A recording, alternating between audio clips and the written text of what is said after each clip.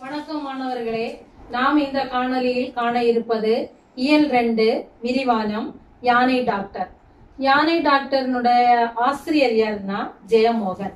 நம்ம இனி இந்த நூல்வழி நம்ம பார்ப்போம்.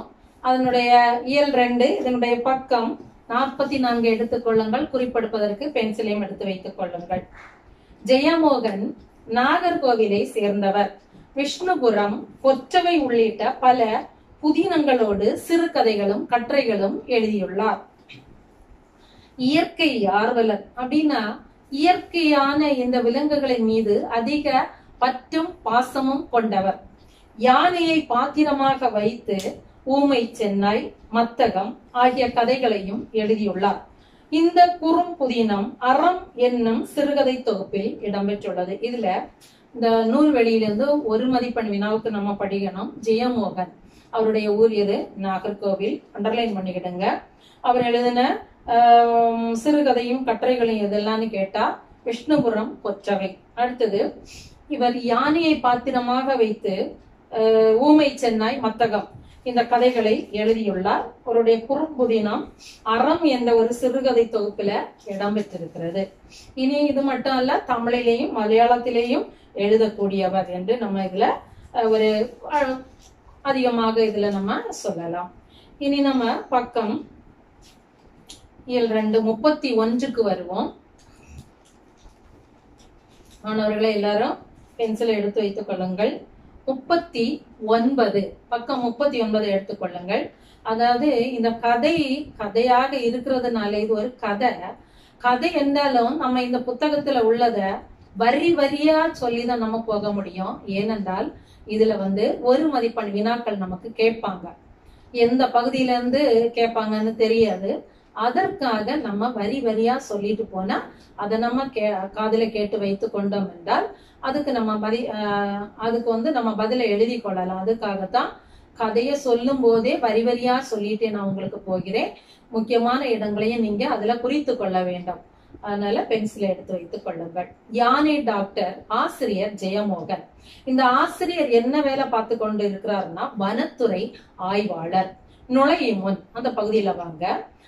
காட்டின் வளத்திற்கு அடிப்படையாக விளங்கும் யானைகளை காட்டின் மூலவர் என்பர். இதுவே ஒரு வினா இருக்குது. அண்டர்லைன் பண்ணிடுங்க காட்டின் மூலவர் யாரு? யானைகள். மனிதர்கள் அல்லாத உயிரினங்களில் தன்னை அறியும் ஆற்றலை பெற்றதும் மனிதர்களின் குணங்களில் பலவற்றை கொண்டதுமான யானைகள் நமது பண்பாடு. அதாவது யானைகளை பற்றி சொல்லும்போது சொல்றாங்க கூட்டம் கூட்டமா வாழும் தன்மை கொண்டதான். உங்க நாங்க கொடுத்திருக்கோம். கூட்டம் கூட்டமாக வாழும் தன்மை கொண்டது. குடும்பமாக வாழும் தன்மை கொண்டது. எழுபது ஆண்டுகள் உயிர் வாழும். மிகுதியான நினைவாற்றல் கொண்டது. ஆமா அதாவது ஒரு காரியம் ஒரு செயல் செய்தோம்னா அது வந்து எத்தனை வருஷம் ஆனாலும் அது ஞாபகத்துல வைத்துக்கொண்டு என்ன செய்யும்? அந்த இடத்தை தேடி வரக்கூடிய தன்மையுடையது அப்படின்னு நம்ம இதுல பார்க்கிறோம். இது ஒரு தரைவாழ் விலங்கு அடுத்தது ஆஹ், யானைகள் கலைகள் கலைகளின் பிரிக்க முடியாத கூறாக விளங்குகின்றன. அவற்றுக்கு தெரிந்தோ தெரியாமலோ நாம் பல்வேறு இன்னல்களை இணைக்கிறோம். யானைகளை வந்து காட்டுல வாழ விடுறாங்க. அந்த காட்டுல வாழ விடுற விலங்குகளை நம்ம என்ன செய்யறோம் துன்பப்படுத்திக்கிறோம். காட்டுல இருக்கக்கூடிய மரங்களை வெட்டி அழிக்கிறோம். அடுத்தது அந்த சுற்றுலா அப்படின்னு சொல்லிட்டு நம்ம காட்டுக்கு உள்ள எல்லாம் நம்ம உள்ள போறோம். காடுகள் எப்படி இருக்குதுன்னு பார்க்கணும்னு உள்ள போகிறோம். அங்க அருவி என்ன இருக்குது? என்னென்ன மலைகள் இருக்குது? என்னென்ன விதமான மரங்கள் இருக்குதுன்னு உள்ள பார்க்க போகும்போது அது என்னது? மது பாட்டில குடிக்கிறாங்க. குடிச்சிட்டு அந்த பாட்டில சும்மா ஒதுக்கி போடாம மரங்கள்ல அடிச்சு அந்த கண்ணாடி சில்லுகள் அங்கங்கே தெரித்து காணப்படுகிறது. அது அந்த யானைகள் நடக்கும்போது யானைகளுடைய பாதங்கள் எப்படி இருக்குமா? நல்ல மெதுவா இருக்குமா? மடல் மூட்டை மாதிரி நல்ல மெதுவா இருக்கும். அப்போ அந்த அது என்ன பண்ணுமா? நல்ல மெதுவா அதனுடைய பாதங்கள் இருக்கிறதுனால இந்த கண்ணாடி குப்பிகள் வந்து அதுக்கு உள்ள வேகமா காலுக்கு உள்ள புதஞ்சு போயிடும். இப்படி நம்ம அந்த இயற்கை வா இயற்கையா வாழக்கூடிய அந்த விலங்குகளை நம்ம என்ன செய்யறோம்? இப்படி துன்பப்படுத்தி கொண்டே இருக்கிறோம். தெரிந்தோ தெரியாமல சில நேரத்துல நம்ம அப்படி செய்யறோம் வானத்து நிலவும் மண்ணுலகத்துக்கு கடலும் போல் என்று மலுக்காத யானைகளின் பேரூர காட்சியை காண அவற்றின் தடத்தை பின்தொடர்வோம். அப்போ இது மொத்தமே இயற்கையா வாழக்கூடிய அதாவது ஆஹ் இந்த யானைகளுடைய தடத்தை பின்பற்றி ஒரு மிருக டாக்டர் என்ன செய்யறாரு அந்த யானைகளை பற்றி தெளிவாக அறிந்து வைத்திருக்கிறார். அவர் அதுக்கு பக்கத்துல போய் நின்னுட்டு என்னடா நீ எப்படி இருக்க? நல்லா இருக்கியா அப்படின்னு சொல்லி மனிதர்கள்ட்ட பேசுகிறது மாதிரியே பேசி பேசி அவர் அந்த யானைகளுக்கு மருத்துவம் செய்கிறது யானைகளுக்கு என்ன நோய் இருக்கிறது என்பது கண்டறிகிறது. இதுதான் அவருடைய வேலை. அதனாலதான் அவரை எப்படி கொடுத்திருக்காங்கன்னா ஒரு இயற்கை ஆர்வலர்.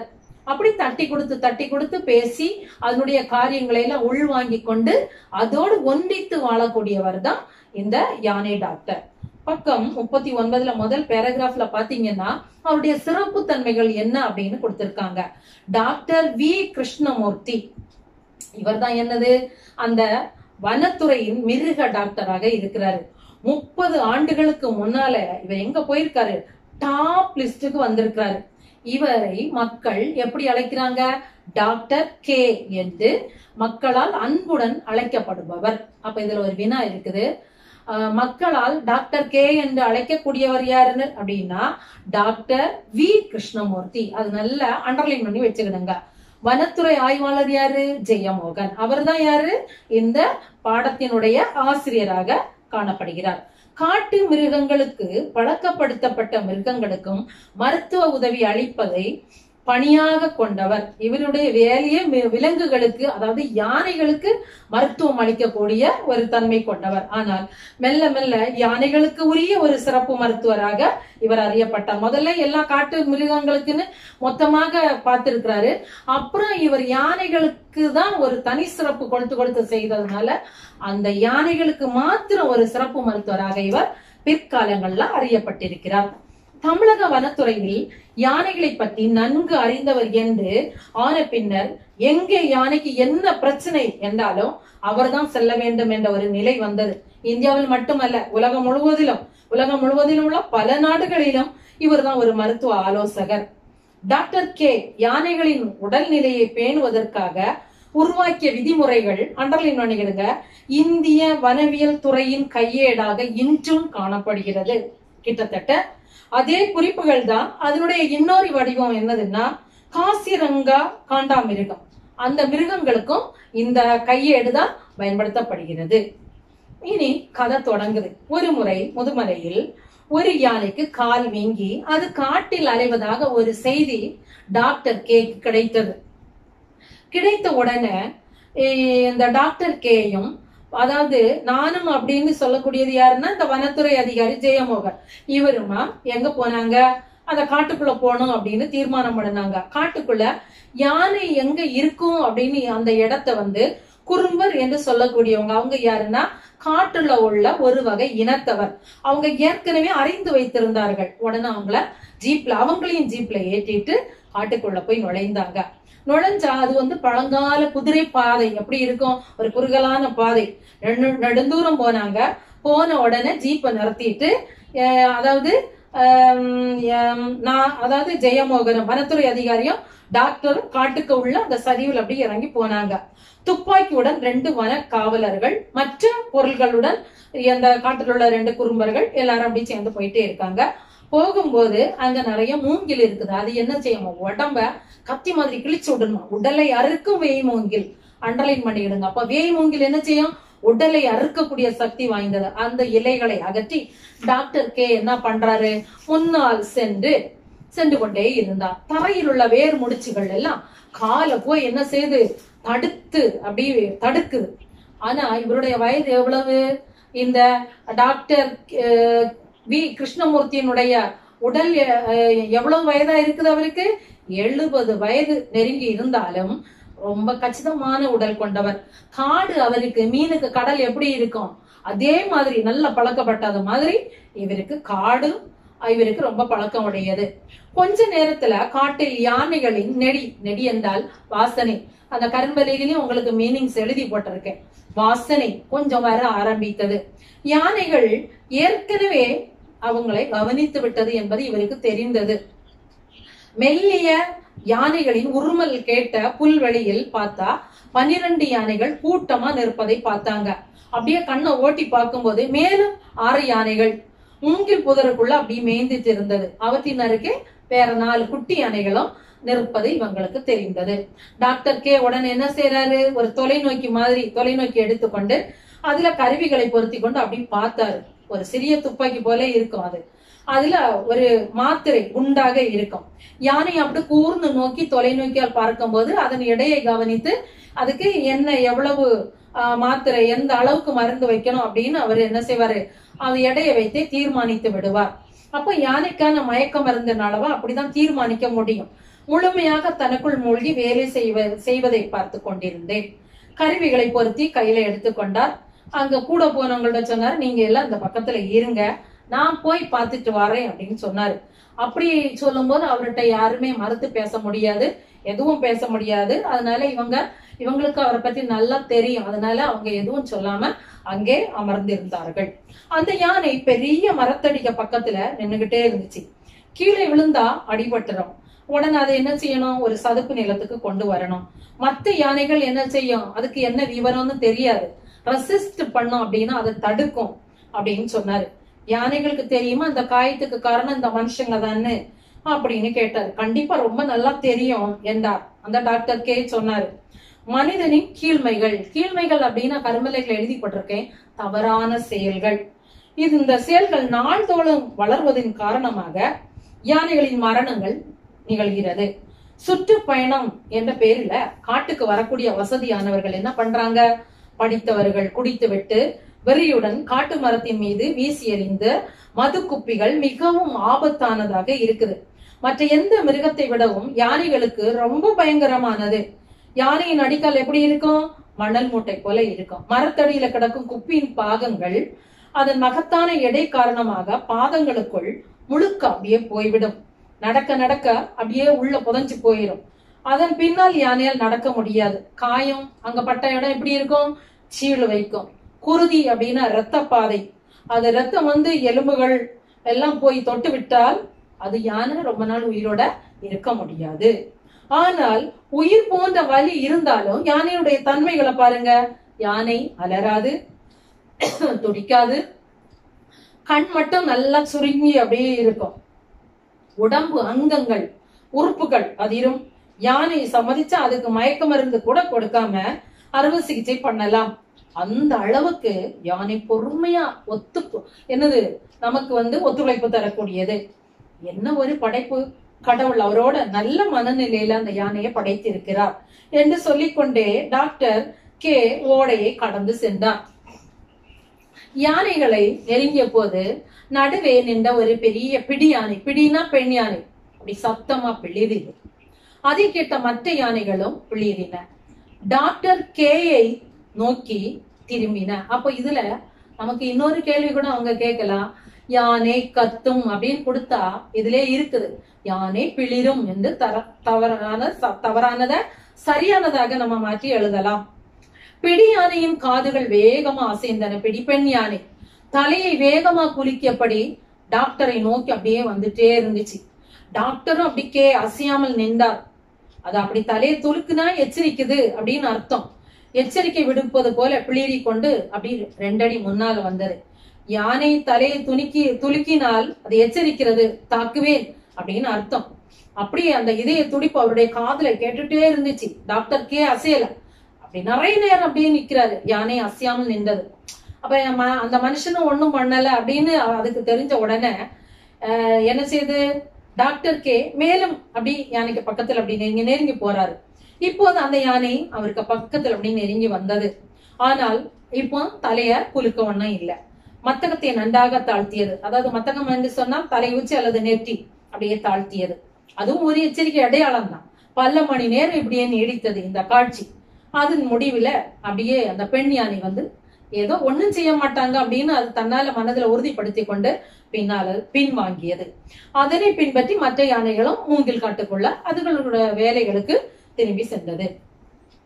டாக்டர் கே கையை தூக்கி எங்களை வரும்படி அசைத்தார். நீங்க அங்க தூரத்துல நின்னு அவங்கள வாங்க அப்படின்னு கூப்பிட்டாரு. அப்போ இந்த ஜெயமோகனும் பிற அந்த கூட போனவங்களும் ஓடைக்குள்ள போனாங்க.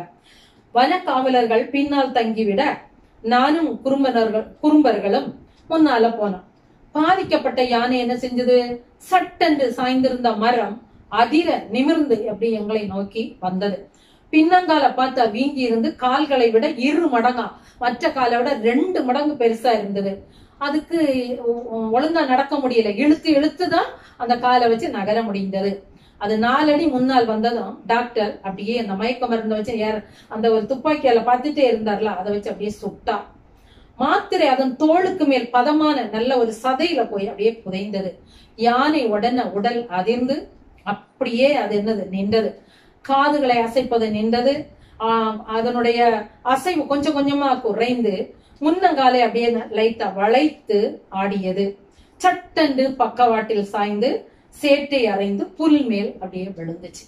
துதிக்கையின் நுனியால் எங்களை வாசம் பிடித்த பின் யானை அப்படியே என்ன செஞ்சுச்சு? அசைவில்லாம கீழே விழுந்தது. Doctor K. யானையின் அருகே அமர்ந்து சுறுசுறுப்பா வேலை செய்ய தொடங்கினார். நானும் அதாவது ஜெயமோகன் வனத்துறை ஆய்வாளரும் அவருக்கு உதவி செய்தார்.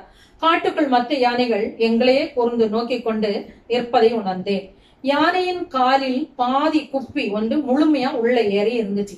அதை சுற்றி சூ அந்த சீழ் அப்படியே கட்டி அந்த பொறுக்கு பிடிச்சிருக்குதுன்னு சொல்லுவோம். இல்ல பொறுக்கொடி இருந்தது. அதை என்ன பண்ணினாரு? கத்தியால டாக்டர் கே அதை வெட்டி எடுத்து சீல்பட்ட சதையை முழுக்க ஒரு சின்ன கோடரி போன்ற கருவியால வெட்டி எடுத்தாரு. ஆழமா பதிந்திருந்த கண்ணாடி குப்பியை என்ன செஞ்சாரு? உள்ள இருந்தது அப்படி மெதுவா எடுத்தாரு. அடுத்து எடுத்துட்டு சொன்னாரு ஒரு வாரம் கூட ஆகல பொழைச்சிரும் அப்படின்னு கூறினார்.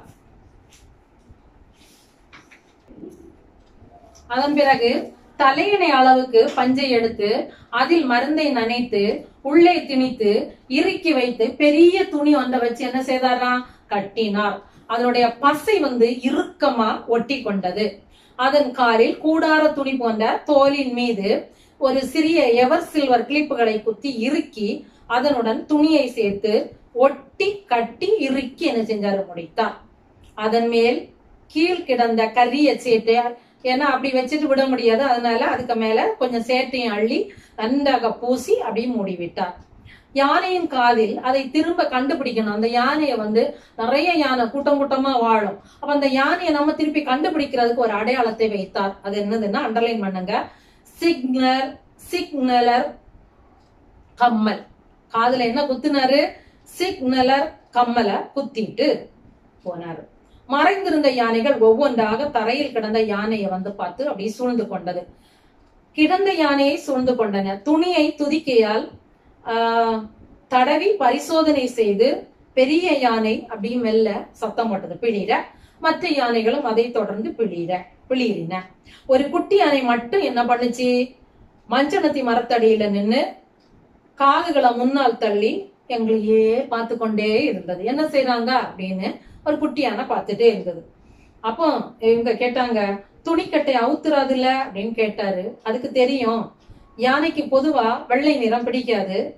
சேர் பூசலைன்னா அதுக்கு நிம்மதியும் இருக்காது. காலை நொண்டிக்கிட்டே போகும். குணமாயிடுமா? அப்படின்னு கேட்டாரு. அநேகமா பதினஞ்சு நாள்ல பழைய ந- பழையபடி வந்துடும் அப்படின்னு சொன்னாரு. யானையுடைய ரெசிஸ்டன்ட் தடுப்பு சக்தி பயங்கரம். சாதாரண ஆன்டிபயோட்டிக் கூட அபாரமா வேலை செய்யும் என்றார் மீண்டும் டாப் லிஸ்டுக்கு கார்ல திரும்பும்போது டாக்டர் கே என்ன? ஒரு அற்புதமான படைப்பு. என்னைக்காவது தமிழ்நாட்டுல யானை இல்லாம போனா அப்புறம் நம்ம பண்பாட்டுக்கு என்ன அர்த்தம் இருக்குது? அப்படின்னு அவர் என்ன செஞ்சாரு? கேட்டாரு. அடுத்த முறை அவரை யானை முகாமில் சந்தித்தேன். யார? அந்த யானையை சொல்றாரு. யானைய நான் யானை முகாம் வ- வந்திருந்த போது சந்தித்தேன். அங்க வந்ததும் நாற்பத்தெட்டு துதிக்கைகள். என்னது முதல்ல நம்ம பார்த்தோம். யானைகள் ஒரு நன்றி உள்ள ஒரு விலங்கு. அது செஞ்ச நன்மையை மறக்காது. துதிக்கைகள் தலைக்கு மேல் எழுந்து அவரை வரவேற்றது. அவர் அவற்றுடன் அப்படியே கொஞ்சு குலாவி வேலைகளில் மூழ்கினார். ஒவ்வொரு யானையா பார்த்து பரிசோதனை செய்து அறிக்கைகளை என்ன செய்தார்? தயாரித்துக் கொண்டிருந்தார். அவரு இப்படியே கதைகளை சொல்ல சொல்ல இந்த வனத்துறை ஆய்வாளர் ஜெயமோகன் நடுவே அஹ், ஷெல்லியை பற்றி பேசுறாரு கம்பனை பற்றி சொல்றாரு பரணரை பற்றி சொல்றாரு. இவர் ஒரு வனத்துறை அதிகாரி என்பதையும் மறந்து மெல்ல மெல்ல அவருக்கு உதவி செய்யக்கூடியவராக ஒரு ரசிகராக ஒரு மாணவராக இந்த வனத்துறை ஆய்வாளர் மாறிக்கொண்டே இருந்தார். ஒரு நாள் அவர் வீட்டுக்கு சென்றதும் அவர் எழுதி வைத்திருந்த பெரிய ஒரு ஆய்வேட்டை எடுத்து அவர் க- கையில கொடுத்தார். படிச்சு பாரு இதுல என்ன இருக்குது அப்படின்னு சொன்னார். அவரு படி என்னது பேசிக்கொண்டே அப்படி இருந்ததுல இருட்டிட்டு. உடனே கேட்டாரு கிளம்புறியா? வேணும்னா நீ இங்கேயே தங்கிக்கோ அப்படின்னு சொன்னாரு.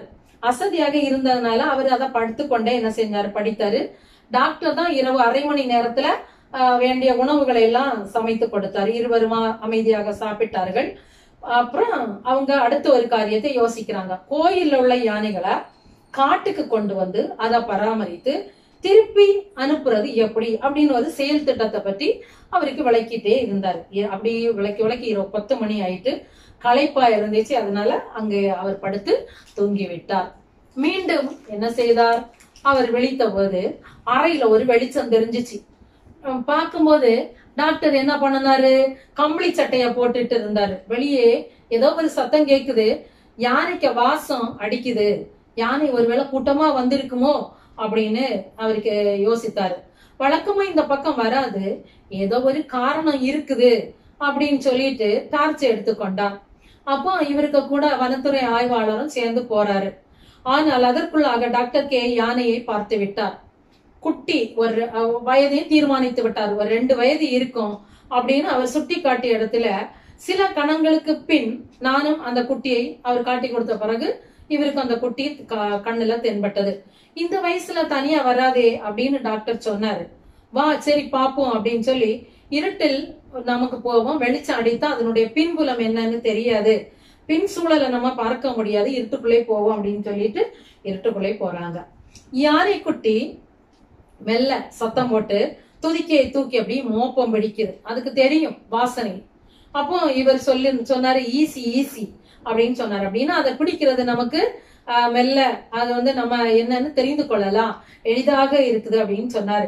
யானைக்குட்டி மெல்ல மெல்ல அப்படி முன்னால வந்தது. ஆனா பார்த்தா கால் நொண்டி நொண்டி வர்ற மாதிரி இருந்துச்சு. காயம் பட்டிருக்கும் போல அப்படின்னு சொன்னாரு.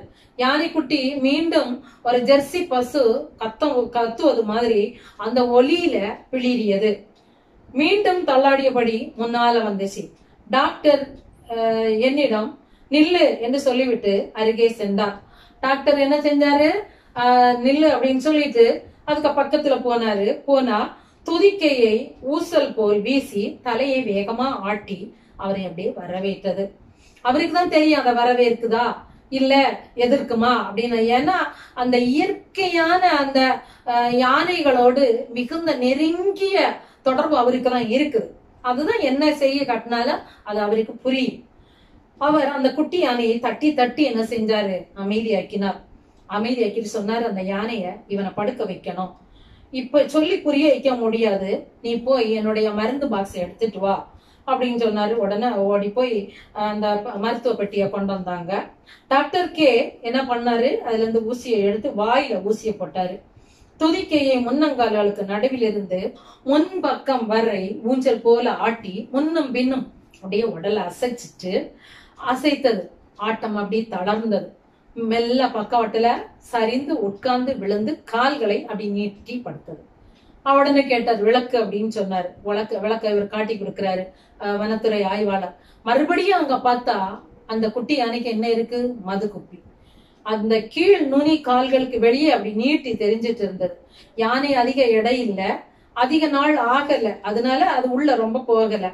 டாக்டர் உடனே அதை பார்த்து பிடிச்சு இழுத்து உருவினார் உருவினார் ரத்தம். குருதினா என்னது? ரத்தம். அவர் கையை அப்படியே நனைத்தது. கையை உள்ளே விட்டு அந்த மது குப்பிய பாகம் இன்னும் ஏதாவது இருக்குதா அப்படின்னு அதை உறுதி செய்துட்டு பஞ்ச என்ன செஞ்சாரு? அப்படியே மருந்துல நினைச்சு உள்ள அப்படியே வைத்து கட்டினார்.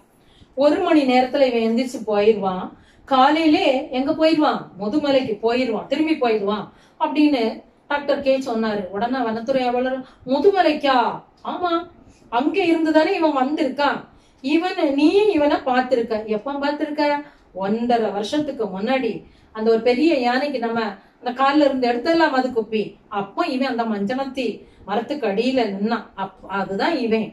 அப்ப ரொம்ப சின்ன குட்டி. எப்படி தெரியும் அப்படின்னு வனத்துறை ஆய்வாளர் கேட்டாரு.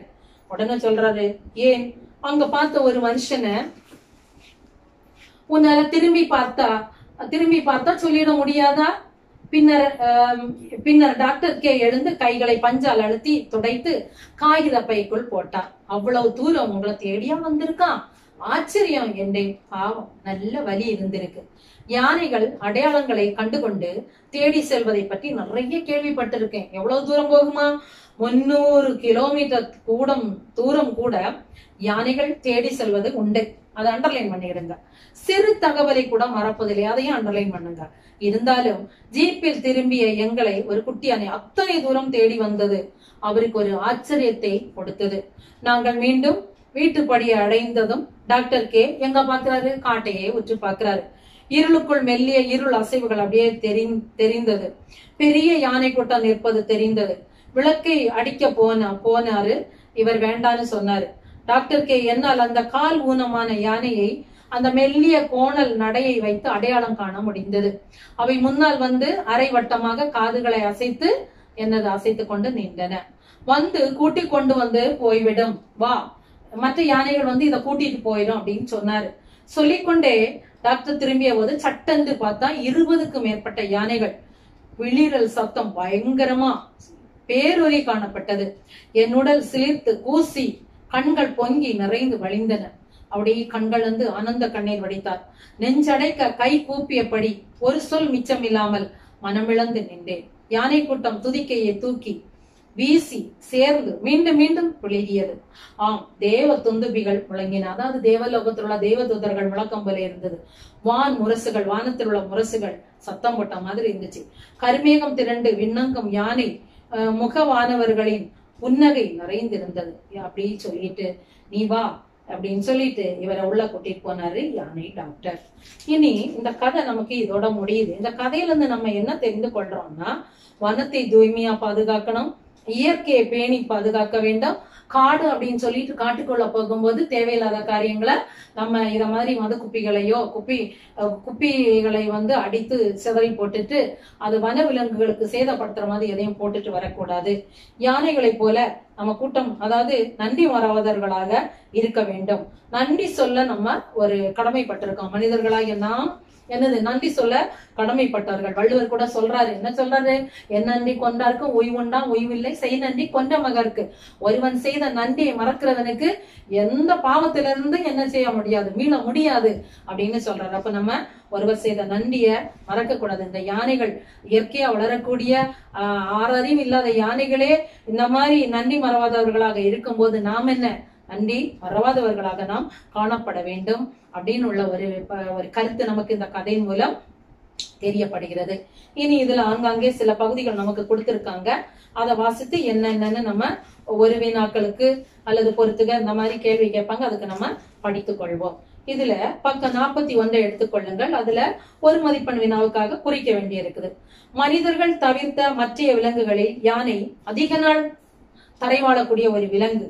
வேட்டை விலங்குகளும் காட்டுயிர்களின் உணவு படிநிலையில் உயிர் நிலையில் உள்ளவையும் ஆன சிங்கம் புலி முதலியவும் நெருங்கும் அஞ்சும் வலிமை கொண்டது. புலி சிங்கம் கூட இந்த யானை பார்த்தா பயந்து ஓடக்கூடியது. யானைகள் குடும்பமாக வாழும் மிகுதியான நினைவாற்றல் கொண்டது. யானைகள்ல மூன்று இனங்கள் உலகத்துல எஞ்சி இருக்கின்றன. அது எதுன்னா ஆப்பிரிக்க புதரொளி யானை ஆப்பிரிக்க காட்டு யானை ஆசிய யானைகள். அடுத்தது இந்த இது வந்து எழுபது ஆண்டுகள் வாழக்கூடியது. அப்ப இதெல்லாம் ரொம்ப முக்கியமானது. எழுபது ஆண்டு குடும்பமா வாழக்கூடியது. மிகுதியான நினைவாற்றல் அதிக நாள் வாழும் தரை விலங்கு யானைகளினுடைய உலகத்துல எஞ்சி உள்ள சிற்றினங்கள் அதெல்லாம் அண்டர்லைன் பண்ணுங்க ஒரு மதிப்பெண் வினாவுக்கு தேவையானது.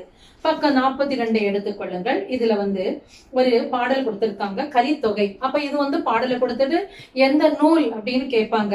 கால்வரை நில்லா கடுங்கழித்து ஒருத்தல் யாழ்வரை தாங்கி யாழ்வரை தங்கி யாங்கு இது எதுன்னு கேட்பாங்க? திருக்குறளா அகநானூறா புறநானூறா கலித்தொகையா அப்படின்னு தான் கேட்பாங்க. அப்ப இதுக்கு நம்ம படித்து வைத்துக் கொள்ளுங்கள். கலித்தொகை. பக்கம் நாற்பத்தி மூன்றுல பென்சில்ல குறிக்க வேண்டியது யானை டாக்டர் யாரு? யானை டாக்டர் என்று அழைக்கப்பட்டவர் யாரா? Doctor V Krishnamurthy. தமிழகத்தின் முக்கியமான காட்டியல் வல்லுநர்களில் ஒருவர். யானைகளுக்காக தம் வாழ்நாளையே அர்ப்பணித்தவர். அடுத்தது குறித்துக் கொள்ளுங்கள். உலக புகழ்பெற்ற அறிவியல் இதழ்களில் ஆய்வு கட்டுரைகள் எழுதியிருக்கிறார். அதை குறித்துக் கொள்ளுங்கள். அதுக்கு அப்புறம் இவருக்கு கிடைத்த என்னது விருது என்னது?